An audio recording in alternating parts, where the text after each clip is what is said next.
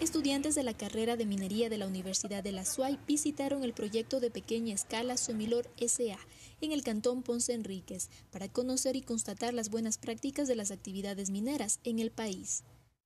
Los estudiantes visitaron la mina, la planta de recirculación de agua y el área de manejo biológico, donde se cultivan plantas de la zona para la remediación ambiental.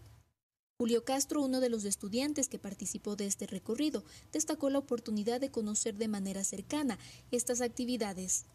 Una de las experiencias más gratas en cuanto a conocer las buenas prácticas mineras es visitando Somilosh, eh, la planificación, el manejo, eh, los recursos que ellos tienen son realmente interesantes para demostrar que la minería puede hacerse de una manera responsable y puede ser construida de una manera amigable con el medio ambiente.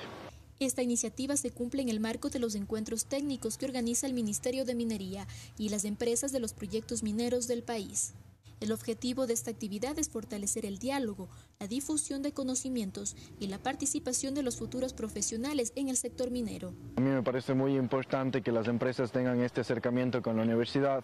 De esta manera nosotros podemos seguir aportando para que las empresas que no cumplen o no tienen estos niveles eh, eh, exclusivos de esta empresa puedan ser adaptadas, puedan seguir incentivándose. Es muy importante que el Ministerio siga trabajando para que las empresas empresas se vinculen cada vez más con la universidad.